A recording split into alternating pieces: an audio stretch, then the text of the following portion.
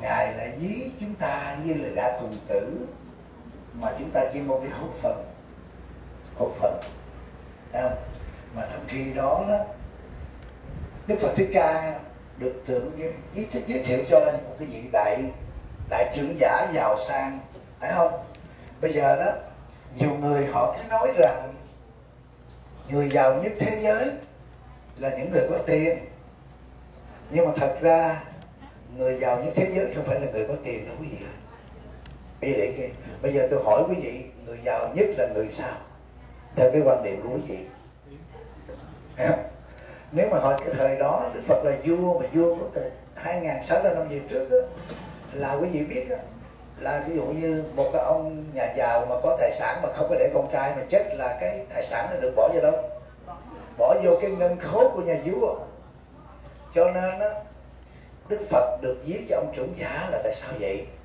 Thật sự ra mà nói đó cái người giàu không phải là cái người mà như là Bill Gates hay là chủ tịch của Amazon hay là Starbucks hay là Facebook không phải đâu.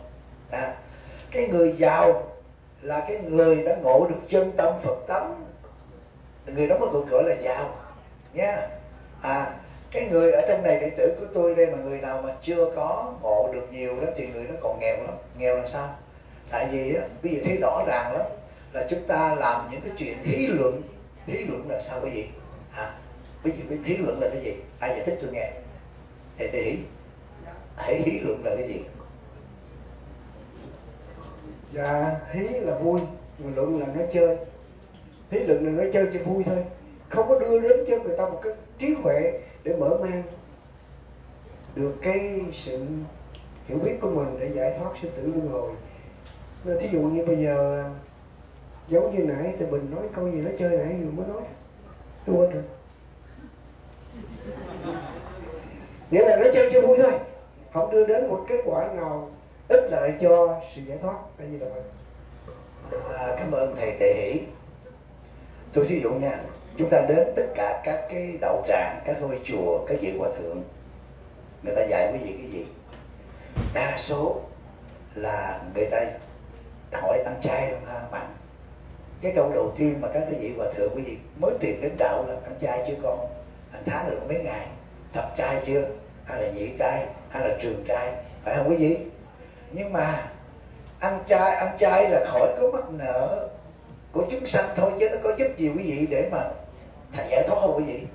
Không. Không không tạo nợ mới nhưng mà nợ cũ còn nguyên hả? Cái nợ cũ còn nguyên không dây nợ mới nữa. Biểu ăn chay tức là thôi nha. Từ nay cắt card đi nha. À lo làm mà trả thì đừng có apply mới nữa. Vậy thôi à. Quý vị thấy rõ không? Rồi vô tới nơi cái rồi à, biểu niệm phật. À niệm phật đi con. Niệm phật. À, à niệm phật ngày được bao nhiêu chuỗi? À nhưng mà chỉ niệm phật chứ mà không giải nghĩa. Niệm phật làm sao để cho chúng ta được lợi ích? À, tại sao phải niệm phật? Nha. Thành ra có nhiều ông thầy cũng dạy là réo phật. Réo phật để chúng ta giải phật nữa. Bây giờ có những cách niệm phật. Thành ra từ đó chúng ta sẽ thấy rằng những cái mà dạy vô đây rồi vô cái nơi đó là thọ bắt quan trai. Nha. Rồi quý vị có những cái gì thuộc hiến luận nè. Nha. Dạy ăn chay đó là phương tiện hay là cứu cấp hả? Phương tiện thì vẫn còn luân hồi sanh tử. Nếu mà nói ăn chay đó, thì chúng ta dù có chay cách mấy, chúng ta cũng không bằng những cái con vật mà như là con bò, con trâu, con nai, con dê. Phải không quý vị? Mà những con đó nó có giải thoát luân hồi sinh tử không? Không. Cho nên để ý điểm đó. Rồi á, vô tới đây đó, mà gặp những cái chùa mà họ cho ăn ngày một bữa. Họ nói ngày một bữa thôi nha. Ở đây dứt khoát là tôi là không phải dễ như ông thông lai đâu nha. Tôi vô đây đó là truyền giới rồi là sáng không có ăn chỉ có buổi trưa thôi. Tối về vô ở trong chùa ngồi trong chánh điện sống ngủ mà không cho uống sữa là có. Có những loại rất là khó đó nha. Tu thì thấy hay lắm. Nghĩa là rồi á rốt cuộc rồi đó cũng không có đưa nó giải thoát. Thì như thật sự mà nói đó nếu mà tu mà ăn ngày một bữa đó, thì các sĩ quan Việt Nam Cộng Hòa ở tù đó đã quả hết rồi. Có không quý vị? Ăn, ăn cái chút xíu rồi phải không? Rồi không nằm giường cao chiếu rộng. Mấy ông có nằm mấy ông giữ giới được không? Rồi à, không có dâm dục. Mấy ông sĩ quan HO Việt Nam Cộng Hòa có giữ giới không dâm dục trong trại được không? Tám năm. Có ông 19 năm. Đâu cái gì thấy rõ chưa? Thành ra những cái đó là chúng ta phải để ý. Cái đó Phật kêu là hí luận à, đi đi từ từ chúng ta phải thấy những cái đó là chỉ biểu diễn thôi. Phải không? Rồi vô tới nơi ngồi ngay ngắn. Phải không? Rồi sắp hàng lai ấp vô đàng hoàng, áo tràng ngay ngắn. Rồi hòa thượng bắt đầu bỏ cái bom rồi bắt đầu cái cúng dường thanh tịnh, pháp thân thì lô giá na phật, phải không? Viên mãn báo thân đô xá na phật, rồi bắt ấn đồ ăn cơm, phải không? Phật chế khi ăn thực tồn ngũ quán. Tán tâm tạp thổi tính thí năng thiêu. Tán tâm là sao? Cái tán tâm là cái đầu tiên đó. Quý vị ngồi ở đây, phải không? Bắt đầu suy nghĩ coi cái bà kia bắt ấn cái đúng không? Có không quý vị? rồi chỉ rồi nhỏ rồi cái tạm thổi là nói tầm bậy nhưng mà mình bị trộn cho nên quý vị thấy đó chỉ là những cái biểu diễn thôi những cái biểu diễn thôi quan trọng không có ích lợi gì cho vấn đề ngộ đạo kiến tập à, à làm sao tiêu? Thành ra đó đối với thầy đó đối với thầy là chúng ta áp dụng cái bình thường tâm là đạo. Đối ăn khát uống mệt ngủ có miệng thì nói nhưng mà lời nói nào của mình nói ra đem lợi ích cho người ta không đem hại cho người ta. Tôi thí dụ như vậy cái à, thằng bé ngày hôm qua kia nó khổ là nó mới là đặt cái chuyện với sư phụ đặt với sư phụ nha. Cái rồi nó nhờ sư phụ đem cái đó lên để mà chỉ cho nó. Chúng ta là những người có kinh nghiệm hơn. Nhưng mà rồi cái phản ứng ngược là nó lại vô nó gặp thầy nó nó còn thối tập còn xin về. Ờ, ở, ở trong pháp à, nó gặp riêng nó đi với người chị nó. Tôi hỏi tại sao vậy con? Nó nói tại vì những cái con nói là nói không hết ý. Con nói là nói không hết ý. Tại vì tiếng việt của con đó, nó cũng không có đầy đủ. Cho nên không trình bày con nói ba con có những cái xấu nhưng mà khi con nói chưa hết rồi mấy bà cứ dồn giả cho con là bất hiếu. Mà tôi đã giải quyết ở đây rồi tôi đã nói đây bây giờ mở rộng tâm hồn đi con. Bây giờ đó đúng sai đó. Ba con tốt chứ má còn má còn tốt chứ bà còn chỉ có hai người biết. Chứ làm sao chúng ta biết được cái gì? Phải không quý vị? À bởi vì cái chuyện bà già đốt ám đó quý vị. Đúng không quý vị?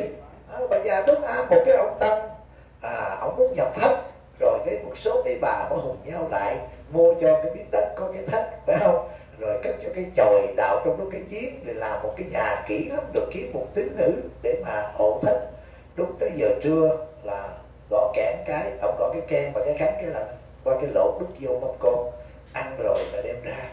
Ba tháng tu hành chân chính, không tiếp xúc với ngoài đời, không có tán tâm tập hội, tụng kinh niệm phật.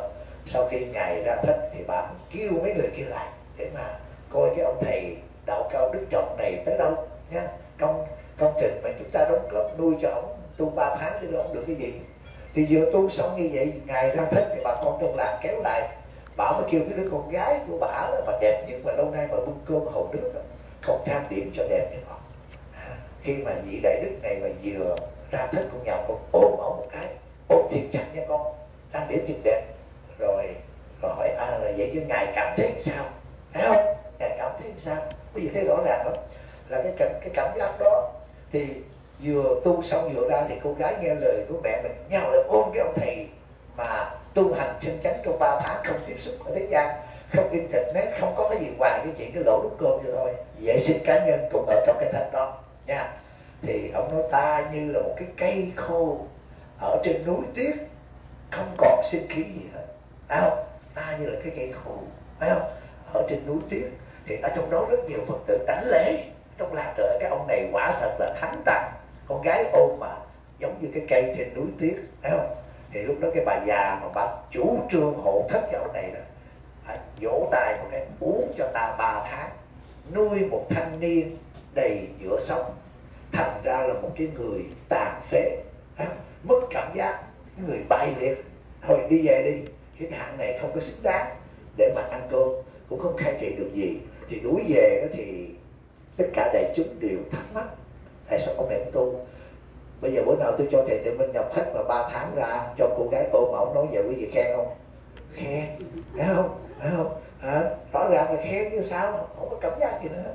Tu hành chân chính như là một cục nước đá rồi à, à mà cái người này họ nói như vậy tại sao họ nói như vậy? Tại vì cái đó là lời nói của chân tâm hay lời nói của giọng tâm vậy? À giọng chỗ nào? Giống chỗ nào thầy để ý.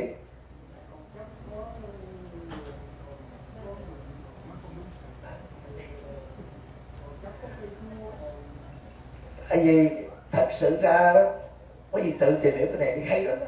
tại vì rõ ràng đây là một cái bài tết cô gái nhào là ôm phải không? Thì cô rất đẹp thì mình phải biết đẹp chứ. Không có quý vị? À mình phải biết đẹp chứ. Nhưng mà biết cái biết là phải biết nhưng mà đừng có thương và ghét. Đằng này là ghét rồi nó tôi như là một cái cây khô ở trên núi tuyết. Cái này không có làm được gì tôi. Phải không? Như vậy là ông có sử dụng cái thương và ghét chưa? Có. Phải không? Hãy sử dụng thương cũng chết kêu bả mà sử dụng ghét cũng chết kêu bả phải chịu không cái đó đều là vọng tâm hết. Phải không? Đuổi về.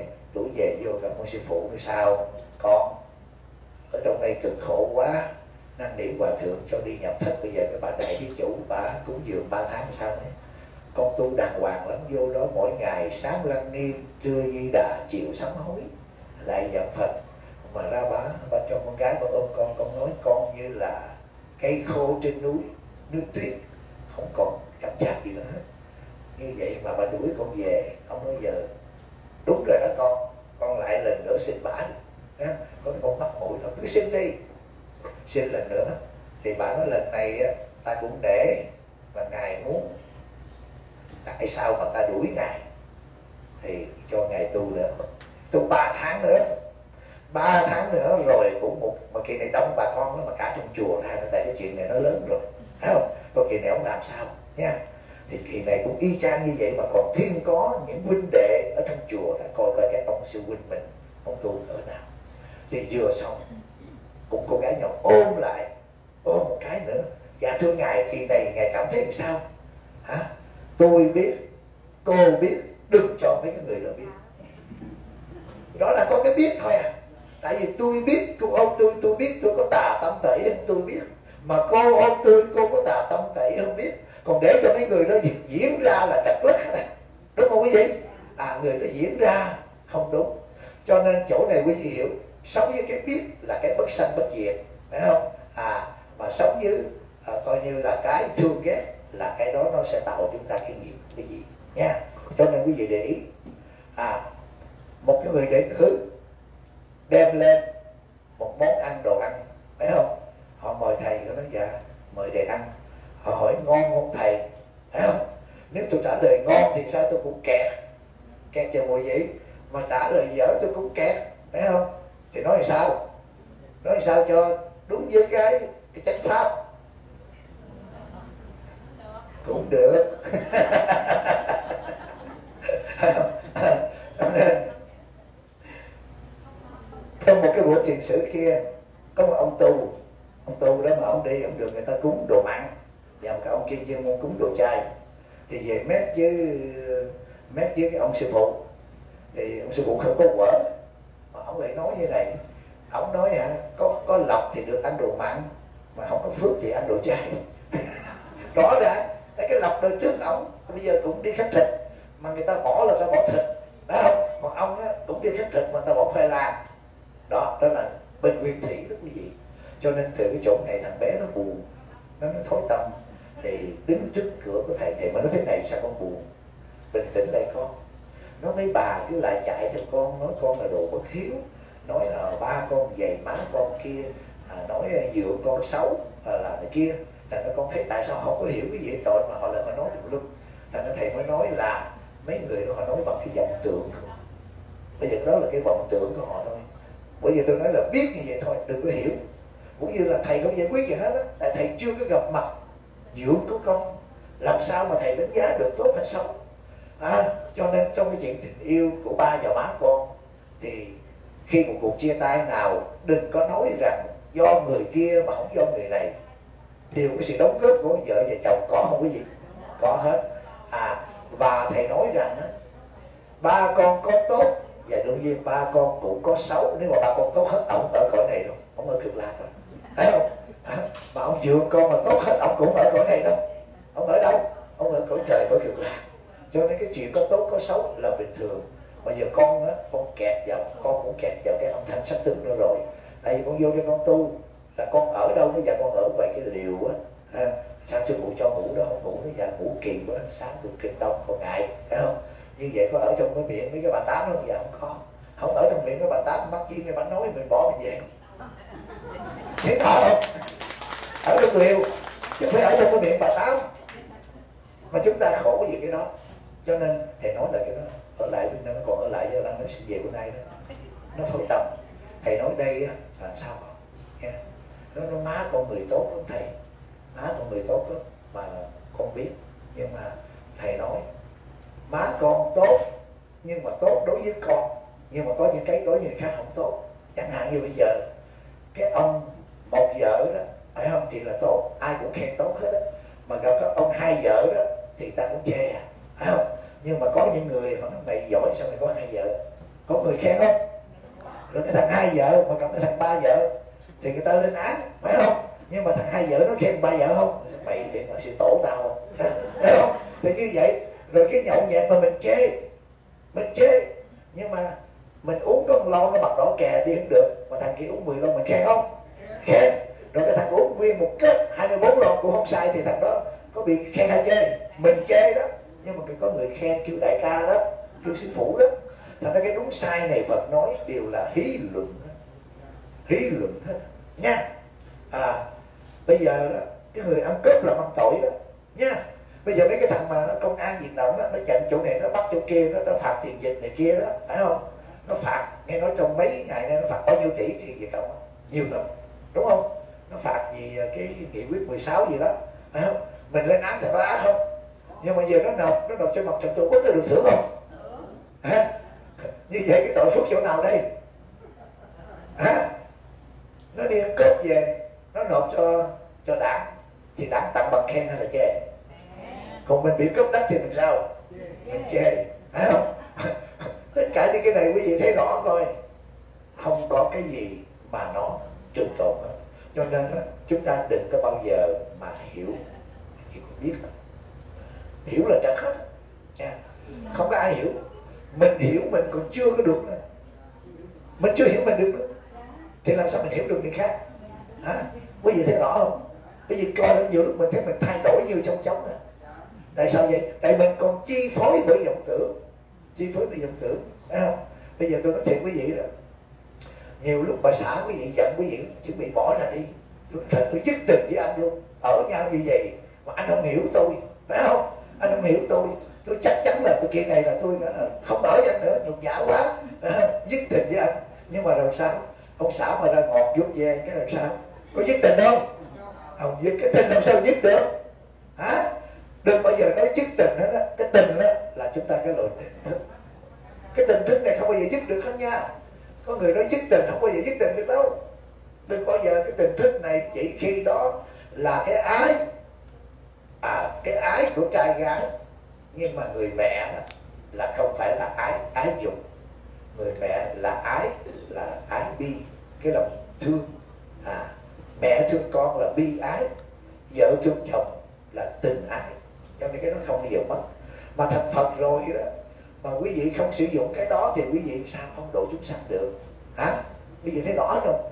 Thành phật rồi phải có cái đó mới độ chúng sanh được.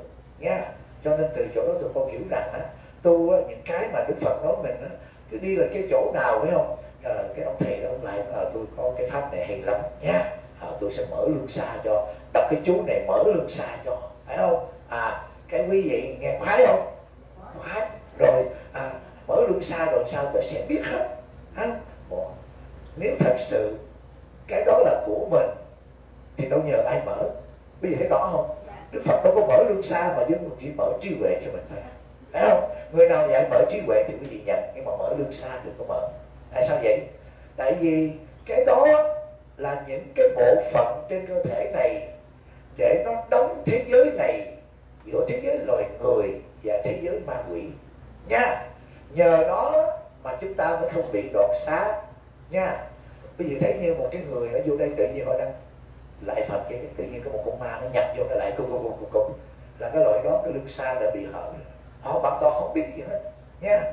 Quý vị muốn ở một cái nhà mà cái chìa khóa của quý vị đó là chỉ của quý vị mở thôi, hoặc là vợ con của quý vị được sử dụng thôi, hay là ai cũng có quyền sử dụng cái chìa khóa đó hết. Hiểu chưa? Mở lưng xa là nó nguy hiểm vậy đó. Giữa thế giới của chúng ta và thế giới quỷ thần, nó ngăn cản nhờ những cái lưng xa nhưng mà chúng ta chưa chứng quả rồi chúng ta mở được rồi cái cái bây giờ chúng ta chỉ nghe cái người suy bậy là rồi người thôi nha. Nhưng mà rồi người đó thì nó chỉ có mặt ban ngày và nó có xương mặt thịt nó cũng lại nhà mình đó ông chồng mình không có cho vô là vô được. Nhưng mà con ma nó có xương thịt không? Mà khi mở lưng sai rồi nó vô nó suy bậy làm không? Làm. Cho nên mình mất cái quyền tự chủ của mình đó rồi riết rồi đó mình cái con ma nó có cái, cái, cái, cái con mắt của lời ma quỷ nó biết cái này cái kia, rồi cái mình từ từ mình cứ thương theo đó nó xuống bậy xuống bạ mà con ma đó nó đã là ma rồi thì nó còn thấp hơn loài người mình. Mà mình tu mình lại mình tôn thờ nó để biết trước thôi. Tôi xin lỗi quý vị. Quý vị đừng có biết cái gì hết á, thì quý vị ít khổ. Mà càng biết nhiều, càng biết khổ thêm tôi nói thật cái gì bởi vì đức phật không chủ trương chúng ta có thần thông, mà chúng ta phải mở trí huệ, rồi chúng ta mới có thần thông. Nha nếu mà quý vị đó mà biết trước tôi thí dụ như xin, xin lỗi chú thầy đức nha. Chú mà biết rõ cô quỷ tiền đợi trước là cái gì của chú rồi đấy phải không? Chú đợi của chú rồi chú còn thương không? Cái người này đã từng giật của giật tiền của mình đủ thứ chuyện đó bây giờ làm vợ chồng thương không? Không thương nữa phải không? Thành ra chú phải mở cái tâm phật đã rồi biết như vậy rồi mà vẫn thương thì mới mở nghe chưa? Thành ra mình rõ ràng lắm. Mình cho đứa con gái đó đi học nhưng mà mình biết trước là ba năm nữa nó sẽ bị tai nạn nó chết. Mà mình cho thầu bác sĩ mình cho. Không mình không cho. Mình ở trong cái dòng khủng hoảng không thể sống được. Khi một cái người mà chưa chứng quả không thể sống được. Người mà mở lưng xa tầm bậy đó, nha, có như bữa ở bên tây tạng có một cái ông thầy đó, ông cũng được mở lưng xa. Thì ông đi xuống dưới nhà bếp, giống như thầy tự minh đang nấu ăn. Thầy tự minh đang gây với cô mai vậy đó thì ông đang bước xuống lần đầu tiên ông mở lưng xa cho ông thấy lửa nó cháy bừng bừng bừng ông đâu sẽ không biết ông tắt rồi về tự mình. khi mà có người nổi sân mình chưa mở lưng xa mình không có thấy.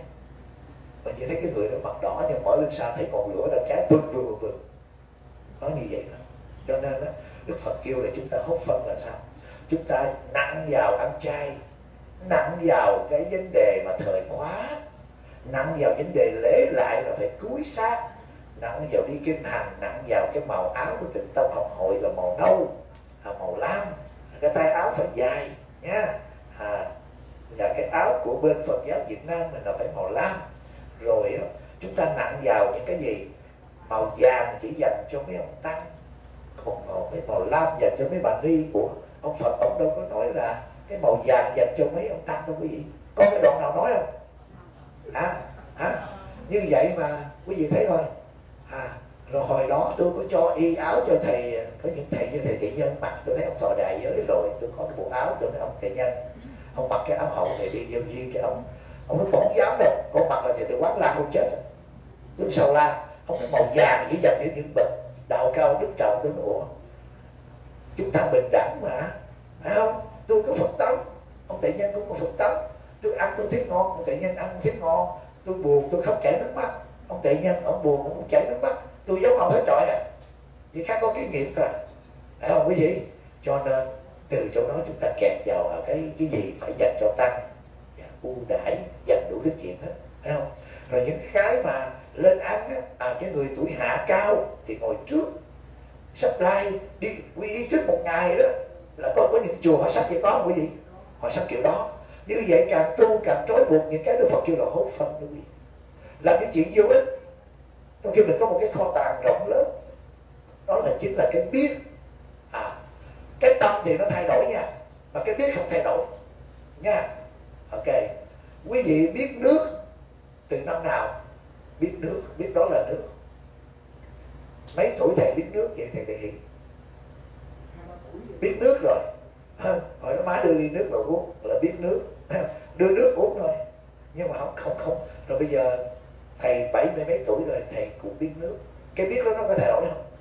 Cái bước không thay đổi nhưng mà cái vọng tâm nó thay đổi là nước này là nước lạnh nước này là nước coca nước này là nước gì đó phải không? Nước này là nước bỏ trong tủ lạnh là nước gì có hãng nào? Cái đó, đó những cái đó nó tạo ra phiền não. Còn cái biết nước là không bao giờ nó không bao giờ nó nó thay đổi. Nha. Cho nên mà cái biết nó có già không có gì không già.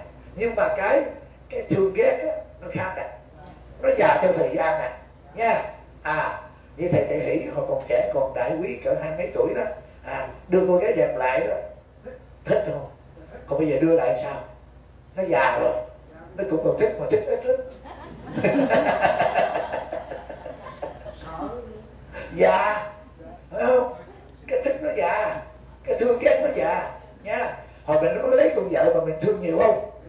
Giờ lấy rồi chục năm mà thương nhiều hết tại cái thương ghét, mà cái đó nó nó có cái tăng, có giảm, tức là vô thượng.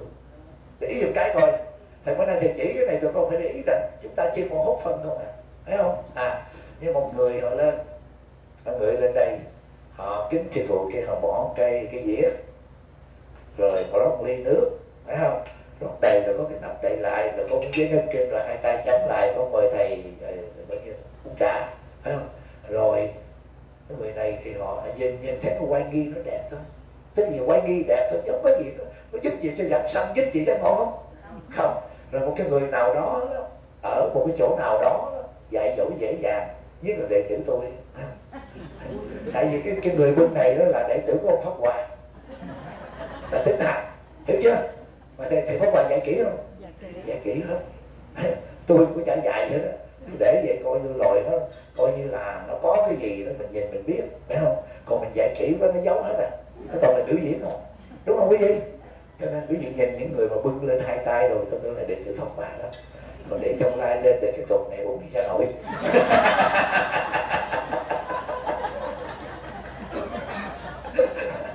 Hai cái này cái nào đưa quý vị tới mở chứ không có cái gì hết á. À, chỉ là hốt phân thôi hí luận thôi không? ông thì cái không phải như vậy mới tôn sư trọng đạo phải không phải như vậy là bất hiếu à, tôn sư trọng đạo là nghe kinh của phật nhập vào tri kiến phật nhập vào phật tánh thì cái đó nó quý hơn còn cái này biểu diễn suốt cái ngày cứ đi làm phải không à, cho nên quý vị ơi quý càng không thờ tôi đó, ví dụ như thì có bao nhiêu nó đẹp thôi. Nhưng mà quan trọng là nghe những lời tôi nói để mở trí huệ thì quý vị mới mới là coi như là mới là trả ơn tôi. Thế thôi à nhé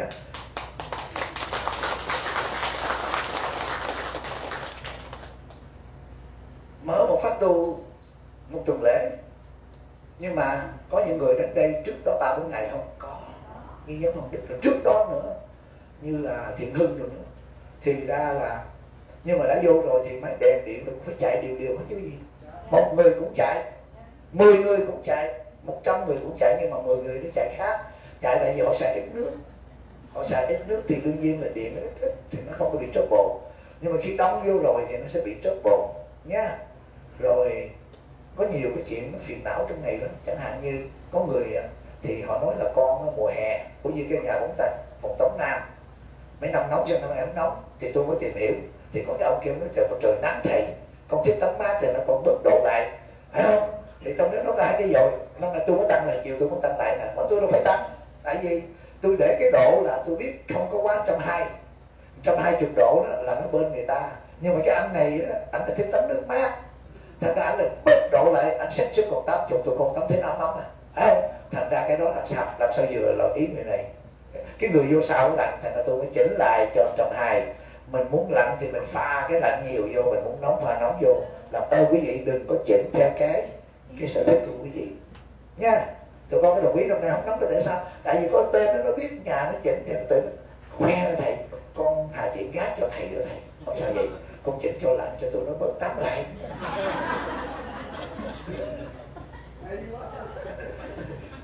ông hà tiện gác nhưng mà ông làm tôi mất giấc ngủ. Tại nó tắm được nó gõ cửa, nó kêu tôi. Tôi phải xích cái xe honda mang cái thân già chạy xuống đi tìm hư hao. Thì rốt cuộc rồi, để nó nóng thì để để bình thường nó có một cái độ mà medium normal để ngay đó cho tôi đi. Thấy không? Ở tôi nói trăm hai được rồi, nó mình để mình chỉnh nó mình được suối vô. Thành nó có những cái đó bây giờ thấy là hiếu luận không à. Nhưng mà nghĩ là có công. Cái anh làm đó, anh nghĩ có công. Phải không? Xe được bao nhiêu gác, xe được bao nhiêu điểm. Trong khi đó, những đứa nó đến đây á, là những đứa đã theo thầy rồi. Hả? Nó nghèo nhất, nó cũng cúng được năm chục trăm rồi, con tắm không có lỗ đâu. Nhiều khi để cho nó tắm vừa ý nó với cái chất hai trăm mà con làm kiểu này, nó cũng năm chục à.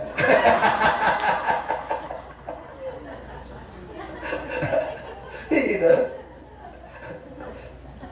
Tại vì chúng sanh nên dễ thối thách tâm tốt ban đầu thấy không? À, nhất là thiền hội á nghe rồi hả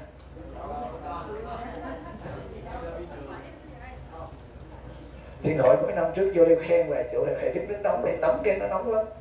Nhưng mà tại vì ông nào ông chỉnh đâu còn nghe thầy tôi ông ngồi trong đây tôi cũng nói. Hồi xưa tôi nói rồi bây giờ tôi tha đó. Tôi còn thì tôi không hiểu coi những cái tu của mình là sao. Cứ tập trung lại rồi điểm danh phải không? Rồi coi như là ban nhà biết ban đưa đón rồi lục trùng rồi lên tụng. Mà cứ bây giờ cứ lăng nghiêm lăng nghiêm mà chỉ tụng là biết thôi chứ không có hiểu được. Chắc chắn là lăng nghiêm không có hiểu được. Nha. Nhưng mà tụng qua tới bài tác phật là hiểu liền. A di đà phật thân kim sắc là cái tưởng ra cái màu vàng phải không? À, có cái bạch hào quyển chuyển ngũ tu di rồi cán bộ trường năm à, thuộc cái đó là cái dòng tưởng chúng ta nó đi hết.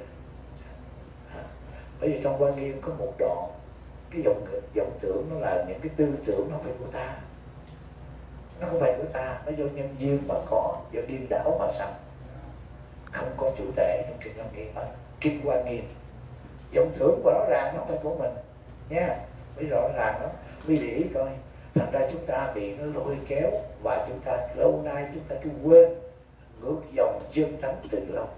Ngược dòng cái chân tâm của chúng ta từ nay tụi con sử dụng cái biết thì tụi con thấy tụi con an lạc và tụi con những cái biết đó nó làm cho chúng ta mở mang trí huệ rất là nhiều.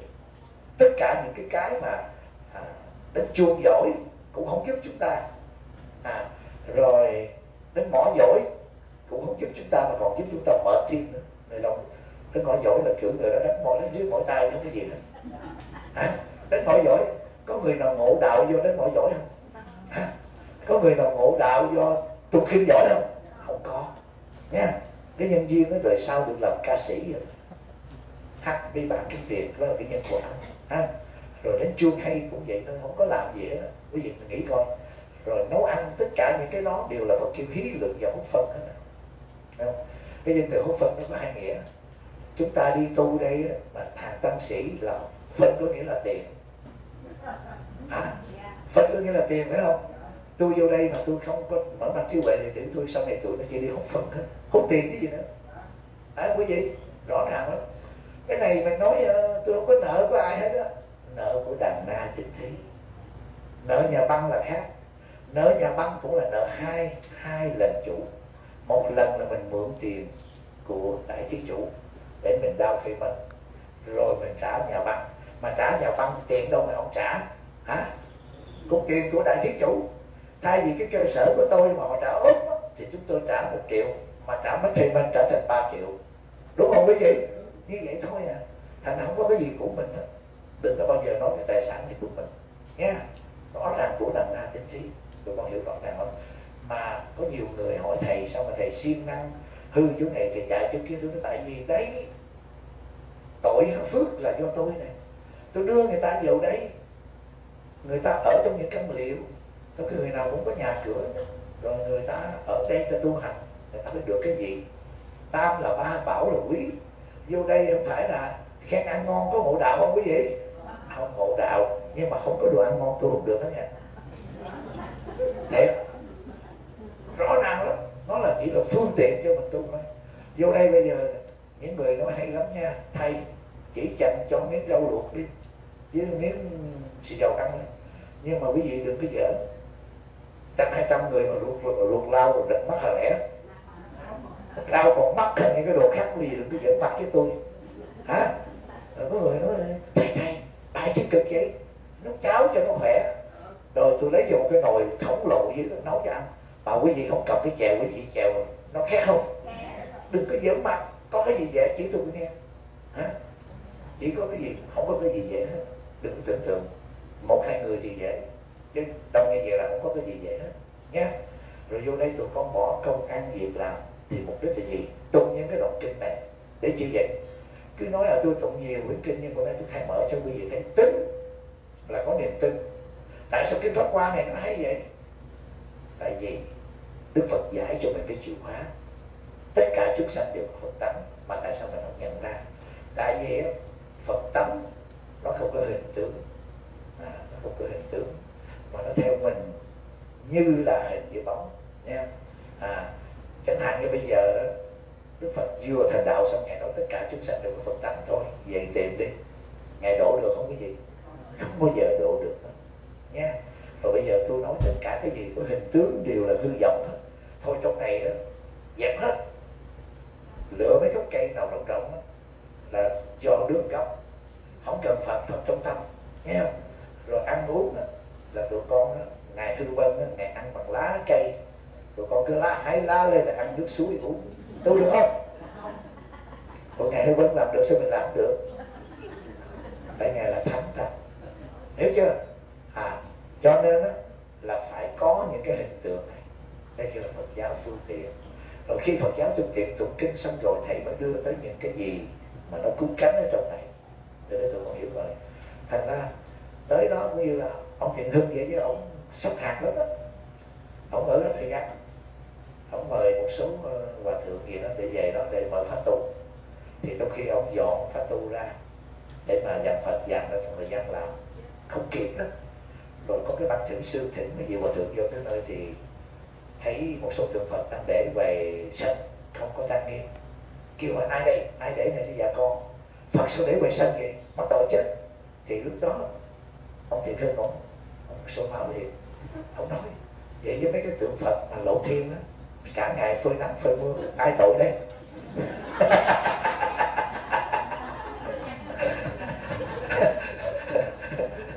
Hay không quý vị? Cũng như vài bữa nữa, tụi con mà đi thử thầy mà đi chỗ khác, trời ơi, cô đức đi chỗ, tại sao mà cái phật để ngoài trời vậy? Không có tổ chức gì hết vậy? Hả? Thì ta hỏi lại cái ông tượng a di đà ơi, đô phơi nắng, phơi mưa nó tội không? Thấy không? Bây giờ thấy rõ không? À hỏi lại. À, rồi cái ông hòa thượng nghe nói vậy đó rồi, ai? Tôi tôi dọn ra tôi đóng hòa thượng tôi chưa làm kịp và những cái tên mà đóng tiền. Rồi những cái tên hòa thượng mà à, biểu người ta đóng vô để mà thỉnh thượng khổng lồ. Rồi thượng lên đó rồi phơi nắng phơi mưa. Ai tội nhiều hơn? Tôi chỉ tội có hai ngày rồi tôi bưng vô tôi để lại. Còn cái tên kia để từ đây cho tới nó chết chỉ còn tội nữa. À, và thượng bỏ đi lên thẻ đi vô ông đi vô, ông đi vô nó tới hỏi, làm lễ xong cái đóng góp cúng dường mọi người bỏ bài thơ cái tăng. Thì ông cũng lên ông bỏ cái bài thơ, nhưng mà không bỏ chết trong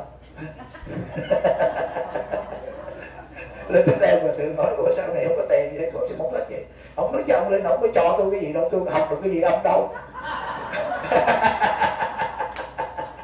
Học được thì có tiền mà ông không được ông vô ông không hỏi tôi ăn ngon hay là khỏe không này kia phải không? À, vậy đó. Ông vậy vậy rất sốc hào bỏ bỏ cái không tới ông phải có cái gì quý tôi mới cúng dường với ông vô bắt lỗi mà bắt lỗi trả lời không được. Thì thôi gửi một sân không đi. Đừng tưởng giỡn. Ông thì thương nha cho nên quý vị ơi hiểu kinh pháp qua rồi đó nó làm chúng ta hết khổ liền à, những cái đó đều là nó không có lợi ích gì hết. Nha không? Có lợi ích gì hết. Rõ ràng lắm nha cho nên từ nay tụi con biết rằng đó à, tại mình hồi đó từ khi lý vợ có tìm hiểu không? Không tìm hiểu rồi có những người tìm hiểu rất kỹ mà lập gia đình có cái gì? À, như là vợ chồng của tiền chơi ở Arizona. Con tìm đã rồi con hiểu không? Thường thường bậc cha mẹ mày ráng tìm hiểu. Chồng này cho kỹ cho mày chồng tương lai mày nha để sau này ân hận nha. Không tìm hiểu được. Chắc chắn mình hiểu mình chưa được thì không thể hiểu cái người bạn đời được chỉ tìm và hiểu không được khi vui đó thì hiểu khác, mà khi buồn thì hiểu khác, khi thương thì hiểu khác, mà khi ghét thì hiểu khác thì dễ đồng ý không? Đó, cho nên cái tâm đó là đức phật, cái tâm vô thường. Mà cái gì nó vô thường thì nó phải của mình. Cái gì mà rõ ràng cái gì nó sanh diệt là không phải của mình. Cho nên trong kinh pháp, trong kinh quan nghiêm nói là những cái đó chỉ là những cái tư tưởng, những cái vọng tưởng. Rồi do cái nghiệp mình trói buộc mình cho nó là của mình thôi. Tất cả đều có những cái tư tưởng như vậy phải của mình. À, chỉ có cái chân tâm của mình là của mình cái gì ráng tìm đi nha cho nên khi sống với cái chân tâm rồi thì chúng ta giàu lắm. Tôi nói chuyện nè bây giờ cỡ như Bill Gates có 100 tỷ đô la rồi nó còn muốn nữa không? Cái gì? Muốn nữa. Cho nên người giàu không phải là người có hàng tỷ đô la mà cái người biết đủ. Biết đủ thôi nha thật sự cỡ như mấy Bill Gates ăn cũng chưa chắc ăn ngon bằng thầy trò chúng ta nữa đó. Hiểu không? Chưa chắc ăn ngon nữa thế tôi nói chưa chắc là thoải mái hơn thì trò chúng ta nữa cho nên đối với người giàu là người biết cho và cái người sống ở trong môi trường nào cũng bằng lòng với hiện tại bằng lòng với hiện tại. Nha à, cho nên tụi con thấy cái mình đau khổ là do bất như ý. Bất như ý không vừa lòng. Còn quý vị chấp nhận đi quý bằng lòng với hiện tại là quý vị không còn cái gì để khổ nữa. Bây giờ tôi hỏi thử trong này ai cũng khổ thì đưa khổ nó tôi giải cho mình Ờ, không? thành ra cái chuyện mà nói đi tìm hiểu sai lầm rồi. Đúng lúc đó thôi à. Đúng lúc đó thôi. Rồi, thời gian nó đi theo, cái tâm mình nó cũng là vô thường, nó sinh diệt. Cho nên, tụi con ráng đi. Những cái cách mà tụng kinh giỏi không giúp chúng ta ngộ đạo, không giúp chúng ta hạnh phúc, chỉ biểu diễn thôi. Đọc lời kinh. Hả? Mình vô đây mình đọc kinh là đọc cho ông phật hay đọc cho mình? Đọc cho mình rồi phải giải ra nè, chỗ này nè. Biện giải như lai chân thiệt nghĩa. Cái chân thực nghĩa của nó, giống cái gì đó tụng kinh pháp hoa. Nhưng mà quý vị thấy rõ ràng là chúng ta tụng cái dựa vào cái số lượng nhiều để nó là phước sai rồi một câu kinh, một bài kệ. Tại sao cái người nào nghe một cái niệm phật, một câu kinh, một bài kệ đại thừa, người đó phúc lâm chung, người đó lọt khỏi rõ ba đường ác? Nhé tôi có nghĩ coi. Một bài kệ đại thừa cái gì có tướng là giai thị hư vật thì tôi con đã biết rõ rồi. Có tướng thì tôi con phải bị chết thôi, cái gì nữa? Còn khi mà đối diện ví dụ ung thư, thọ mạng còn thì mình còn sống. Thọ mạng hết phật cũng chết thôi. Nhưng mà chết là chết cái cái thân này là cái thân gá vào đây để mà dùng nó để sử dụng trong giai đoạn nào thôi. Vậy thôi à. Cái người, cái thánh biết của chúng ta không bao giờ mất. Nha quý vị ơi, trân quý dùng cái thân này đi. Cái thân này nó khác lắm. Và trong này, trong pháp hội này cũng có mấy người dẫn mấy con chó vô đây đi tu, có không? Nó cũng là thân đất nước châu lửa đó. Có không quý vị? Mà nó nhiều khi nó có về cái phước báo á, là nó hơn quý vị đó, là không làm mà có ăn không đóng thuế nữa. Mấy con chó vô đây, có có mấy con chó của mình ngộ có mặc quần áo không? Có mặc quần áo, mà nó có đóng thuế không? Không đóng thuế, có trả bao giờ không? Không trả bao giờ phải không? À nhưng mà không làm mà vẫn có ăn. Nhưng mà vô đây sao? Không biết cái gì hết. Không hiểu được cái gì hết. Đó vậy nó thiếu trí huệ. Cho nên quý vị thấy rõ đó, đó quý vị nhìn rõ đó. Có những con chó nó có phước báo đó. Nha.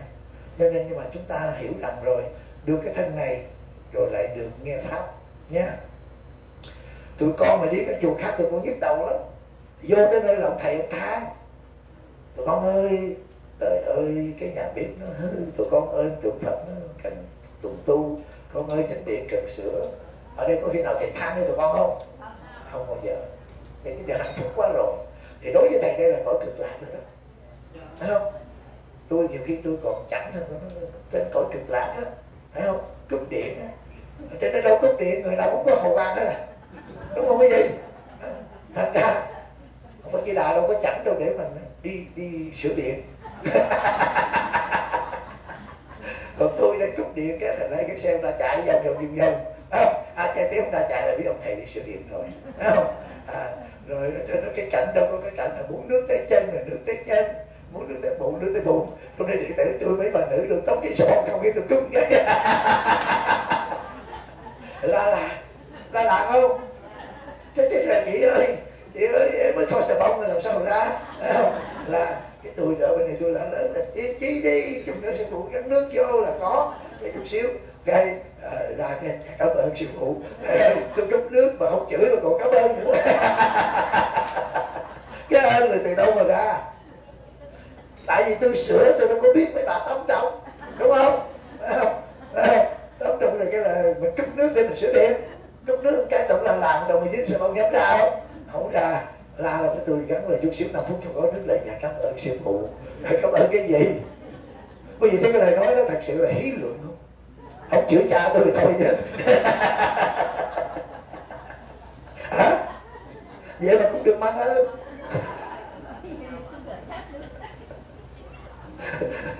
Phật nhìn thấy là vô minh không? Thấy không? Mình có một cái kho tàng để mà mình có thể là tự tại thương dung trong mọi hoàn cảnh thấy không? À, cái niềm vui chứ. Không có gì buồn với tôi hết vui lắm. Ở đây tôi thấy tôi vui mọi thứ hết. À, vui. À, mình cho đệ tử mình mỗi một chỗ người góc này góc kia. Tụi con tu rồi tụi con mới mới thông cảm. Mới thông cảm những điều lấy ở đúng không quý vị? Tại vì mình đi ngang mấy cái liều không hết đó. Mình cũng thấy hoài à. Ở một lên thấy không? Thấy nhưng mà nhầm dồn cái này thiệt tình nó đi nó quậy quá ở gì nó đi không? Nhưng mà rồi sao ở đó cũng vậy? À, giờ nó lạnh không? Nó cũng lạnh vậy thấy không? Thông cảm mà nó còn mình ở đây được cái là mình có ăn được nghe pháp thấy không? Thành ra đó một ngày nào đó, mà vợ con nó tống cổ con nó cho cái liều nhưng mới đồ ăn nó đi rồi nổi cha điên khùng lên không? nhưng mà ở đây thầy bụng giao cho cái người đầu cũng vui cười hết. Thấy rõ chưa? Thiết cho tâm tạo thôi. À không cái gì thấy rõ ràng sao? Chui chui vô đây. Mua với ba năm trăm sáu trăm bảy trăm rồi ở trong những cái chồi cái liều vậy đó phải không? Rồi đi tắm sao? À, mấy ông đàn ông không thả nó cái khổ cái đàn bà thấy cái chết lại không? Hả? À bây giờ thấy mấy ông đàn ông thì mấy bà thì có cái ở giữa nó sạch sẽ mà không đi xa đúng không quý vị? Còn mấy ông thì ít lắm thấy vậy cái lúc nào vô ông với kẹt cầu mà nhìn buổi sáng về những cái giờ ăn uống xong mấy bà kẹt cầu không? Kèm cái like là biết cho lên trển mà riết rồi tôi mở riết lên trên này không ai không ai không ở trển hết đâu. Ngay cả cái nhà cắt đôi cũng có rồi người ta cũng thích ở người ta cũng dụ dụ như này hết. Nha. Phương bao sao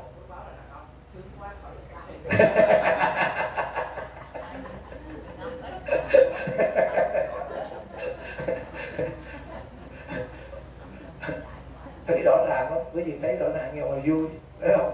À chứ còn nhưng mà tôi bắt tôi nhốt quý vị vô đây và bắt buộc á là quý vị viết báo chửi vậy tôi ở trong một cái trại trọc tung phải không? Ngày chục điện mấy lần rồi đang tắm một cái nước nóng nước lạnh này kia là chửi gì lắm nhưng mà vô đây là vui thấy không? Chúng ta thấy vậy cái gì những cái khổ sở này do đâu à, do cái tâm chúng ta mà ra hết. Cho nên nếu mà cái vị tổ sư cùng ở với nhau các ngài biết hết các ngài không có nói không có thương ghét gì hết. Còn chúng ta hàng ngày giao tiếp với nhau và kêu là hí luận dùng cái tâm thương ghét để mà hơn thua phải quấy với nhau nha rõ ràng lắm. Bây giờ cái bà nó mới lại được mấy trăm lại đó. Nó ngã mạng với mấy cái người lại mấy chục lại. Bây giờ trong này người lại dở nhất là quy đức. Phải không? Quy đức lại chút rồi tại có con lá phổi à? Phải không? À, nhưng mà bữa nào đem thằng nào còn nửa lá thì quý đức cũng ngon vậy?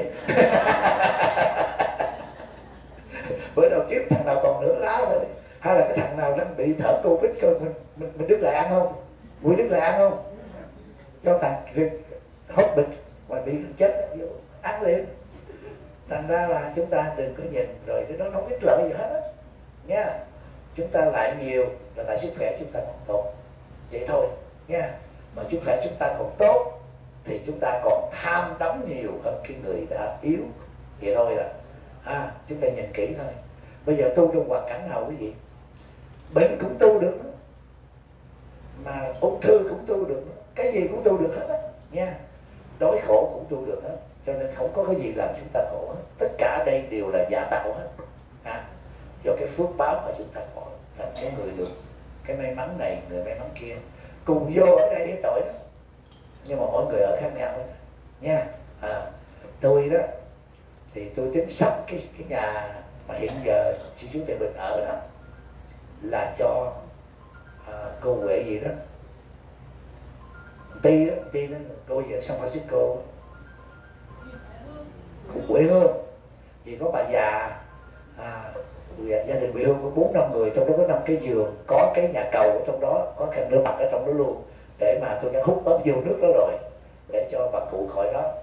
Nhưng mà vừa xuống tới nơi cái là tôi tí đức à vậy Hương là con mai đi đón sư phụ khỏi cái sắp vậy con sắp vô cái nhà đó. Thì chính này là tí nó sắp thấy không? Nhà đó tôi chính cho đàn bà thấy không? Rồi cái nhà mà ở sau của cái phòng ăn đó, bây giờ cái nhà mà bây giờ là à, gia đình cũng như quyền ở đó. À, hai vợ chồng việt sĩ với đứa con ở với bà già đó bốn người thì cái nhà đó là khi mà qua đây đầu tiên là nó ở gần cái nhà cầu. Thì uh, chú uh, thiện hưng cũng ở bên nóng à trên đó nó có hai cái giường nghe không giường đôi nha. Thì ông ở bên nóng rồi cái vài bữa nữa cái tôi đưa một thêm một người nữa. Chú nào đâu chú nào ở Arizona. Ông thiện đức. Ông vô hai người ở hai nơi. Cái rồi từ từ cái vô nữa cái ti nó nói bây giờ con như quyện nè má nó nè ba nó là ba người với bầu bảy nữa nữa vậy là bốn người xin cho cái đó tự động là chú thiện hưng chú volunteer chú nó ra liều ở dòng thiện đức tôi nói thiện đức ơi. Bây giờ cái xe bên kia đó tôi để dành cho có cầu có nước có đầy đủ rửa mặt vào trong đó để tiểu tiêu đó mà tôi để dành cho cái ờ, cầu huệ hương nhưng mà anh ti nó không, không không nhận cái đó. Nó sắp chỗ rồi nó nói là nó kiếm chỗ cho gia đình huệ hương rồi phải không? Để dẫn bà đi ra đi tới đưa đi tới cho nó giãn cái chân. Cho nó giãn cái chân cho ngay tại chỗ không chịu. Cái tôi mới đưa vô tôi mới đưa vô ông thầy đã sắp xếp cái nhà đó.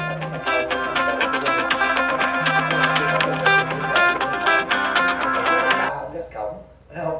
À, từ đó lên nằm ngủ ngay cái sofa đó đi tại ông á sáng là ta cũng kinh đầu chuẩn bị ăn ông đi rồi. Tối ông mới về rồi ở chi ở ngay cái sofa đó cho nó gọn. Ông nói cái sofa này là bà tám đông lắm.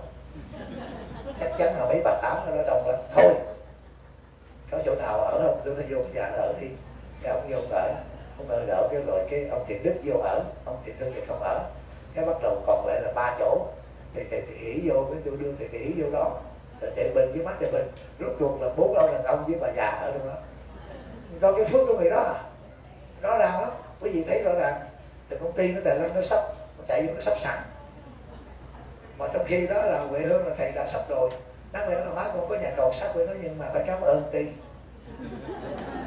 thầy cảm ơn là bà nhờ vậy chạy luôn chạy tới biết đâu là hết cái bệnh, cái chân đau rồi thầy sắp chỗ đó, trong đó cái nhà cầu luôn rồi. Không sao. Thì thầy nói cái nhân duyên của từng người rõ ràng lắm, mình tính không phải đâu. Hiểu không? Hả? còn cái xe của thầy ở là cái nhóm Origen, nhóm của gia đình ông Hào đó. Mà không biết ở trong mấy người, năm người hay bảy người gì đó. À cho nên quý vị mỗi người nó có cái phước khác nhau. Trời à không có giống nhau, mình muốn cũng được. Đó. Rồi. tôi đã nói quý vị rằng, tu, những cái gì chúng ta làm đây đều là phước báo nhân thiên. Nhưng mà chỉ có dùng cái trí huệ đọc kinh rồi, tính và giải, tính rồi giải là tại sao cái đoạn này mà hút phân vậy? Tại vì đức phật nó xuất hiện ở đây biểu mình chỉ thẳng như con có một cái phật tấm con ngồi trầm tư lại đi. Thành ra cái nhiều người hồi xưa dạy ngồi thiền nha ngồi đi con ngồi ngồi ngồi cái rồi con thấy sẹt hậu quan chỗ này kia cái đó là có thấy một tấm không? Vậy đúng không? Ngồi thì thấy cái đó là thấy ma thôi. Nha. Đừng có bao giờ hết. Tôi nói cho quý vị nghe dạy vậy là điều tà đạo hết đó. có nhiều ông thầy nào đó con theo thầy đi ngồi ngồi như vậy cái là coi như là vài bữa nữa là con mở đường xa cái là, là con thấy này thấy kia. Thấy này thấy kia đều là sử dụng cái ma tánh cái tâm trường ghét hết. Nhưng mà ngồi thiền tự tụi con nóng lòng tự biết trở về những cái biết của mình trở về những cái biết của mình. Và chúng ta làm chủ từ từ. Tu là lấy lại cái quyền làm chủ. Tôi nói thẳng. Mình không làm chủ được cái thân này. Nhưng mà bây giờ làm chủ sao? Một lần mình đau nó đau đớn đó là mình khổ tại vì mình quý nó quá đi. Từ khi nó có xuất hiện thế gian này nó theo mình rồi. À, bây giờ trong này có hai cái ghế ghế ba chân và ghế bốn chân mình lựa cái ghế nào cho nó ngồi. Bốn chân rồi trên đó một cái bàn dĩa đồ ăn ngon. Đồ ăn bữa nay về đồ ăn hai ba lửa. Mình gấp cái nào đút cho nó. Gấp đồ ăn mới. Hay không? Rồi, mình đi xe đó, mình lựa chỗ nào? Lựa chỗ ngon nhất cho nó ngồi. Thấy không? Tức là cả đời mình phục vụ cái thân này rồi. Cho nên mình tu là mình bắt nó. Ê, mày, tao, mày bắt tao mua nhà cho mày. Tao khổ gần chết rồi mày bắt mua xe lấy xịt mua ờ, BMW tao khổ gần chết. Bây giờ kỳ này tao bắt mày lên đây tao đi cải tạo mày ra đều của mày. Ở nhà nữa nhà tắm này là đầy đủ lúc ma bồ nhưng mà kỳ này lớn này ê bước lên thì chỗ nào cũng nước hết không có ra có si hết đó nhưng mà phải ở như vậy đi mày phải vào khuôn khổ. À, tao là cả đời là phục vụ cho mày rồi. À, vừa lớn lên thì đi kiếm vợ cho mày gả chồng cho mày phải không rồi tạo tài sản suốt ngày để phục vụ cho mày. Tôi có thấy suốt ngày tôi có phục vụ cái thân này không?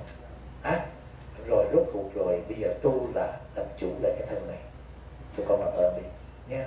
Khi nó bệnh rồi đó à mày bệnh á à sắp bỏ mày rồi đó. Sắp có cái thân khác thân ngon hơn thân có tương lành, vậy thôi à. Chứ cái bệnh rồi rung quýnh lên nghe khám rồi rung rồi quý nó qua rồi còn sợ quá rồi. Đức phật còn bỏ thân này mà không bỏ thân này thì làm sao được những cái thân kim can bất hoại? Cho nên tụi con đừng có cái gì không có cái gì làm cho cái người hiểu đạo là khổ hết.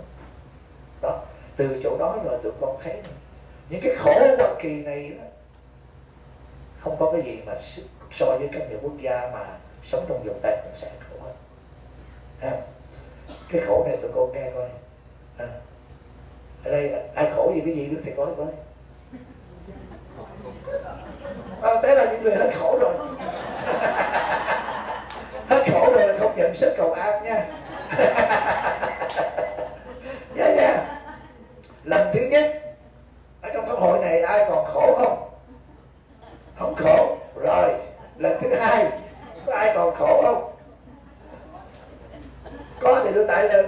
Tôi giải khổ cho còn nếu không có là không có rồi ngày mai mà ngày mặt nó tôi không nhận sức đồ ăn nha tại vì còn khổ, tâm không an mới gửi sớm, mà bây giờ mình đã hết khổ rồi, có gì cầu nữa? Hả? Phải không quý vị? Thì nhắn còn khổ không? Hết rồi, vậy được. Đừng đưa sớ vô nha. Đừng đưa sớ cầu cho tiền nhân đừng có theo con nữa. Quý vị thấy vui không? Tất cả cái khổ điều mình quan trọng quá nó hết. Thế mà cái chết này mà mình không sợ là không có cái gì nữa chết rồi bình thường bỏ hết. Yeah, bỏ hết đi. Mình làm lấy là cái quyền làm chủ của mình đi. Hả? À đang nằm than thở vậy nhưng mà ông phật ông có xử lý mình bé thương quý vị hả? Chúng ta tu gì còn sướng hơn ông phật đó. Sướng hơn không? Đâu phải ông tắt vệ sinh đâu. Đúng không quý vị? Ông phật có đèn không? Không có đèn. Có nước nóng không? Có luôn. À, à ông phật cũng như vậy đó. Thành ra mình cứ nghĩ là cái ông ông phật của mình thấy mình vui rồi. à, cho nên đó, chúng ta đức phật đã từ bỏ những cái đó hết rồi. Nhưng mà cái đó những cái mà vật chất thế gian đức phật kêu là hốt phần đó nó không ích lợi gì hết. À, quý vị để ý giùm cho thầy đi. Chúng ta về đây để làm cái gì?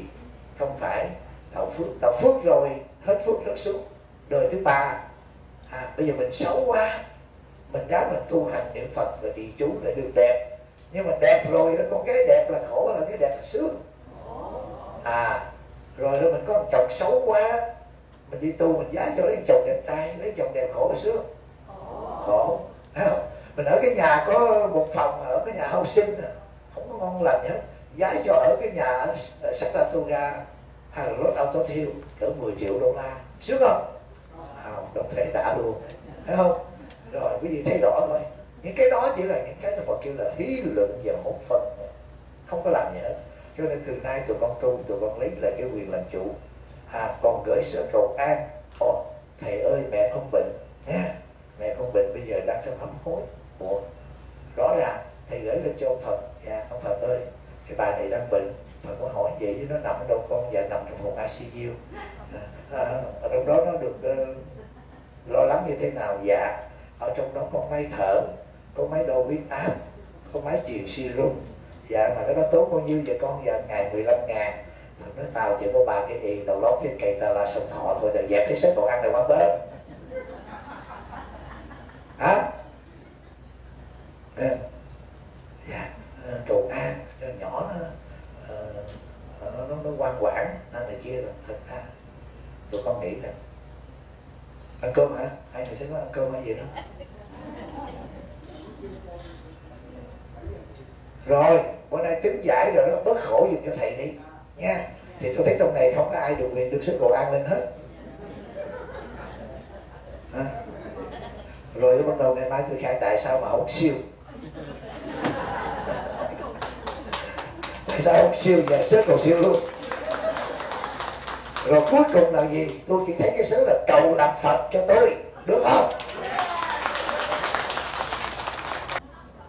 Xong rồi hồi ước dạ à, tình hình này nó còn ấm để coi tôi đấu ra lệnh cho mấy cái người làm trong cái ban mà để mà à, điều hành những đề mà treo dù đó. À, đã cuốn cái dù dưới chân lên tôi nghĩ tối nay mát rồi. Tại nó gọi mình để thấp quá nha. Thì chút nữa tụi con coi cái tình hình này đó, ở trên đó khoảng chừng à, bây giờ là 7 giờ chưa bảy mấy? Bảy giờ 15 ăn xong tám giờ 15 nghỉ một tiếng nữa là 9 giờ 15 lên trên đó. Cho nó tiêu cơm rồi tụng nguyện địa tạng nguyện trung tiếp theo.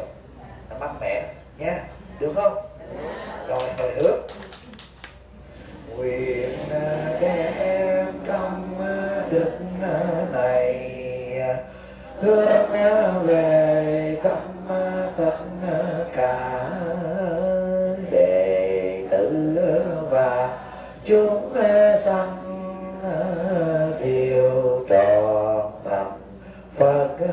đào rồi chúng ta xuống ăn cơm chiều nha yeah. trân trọng kính chào quý vị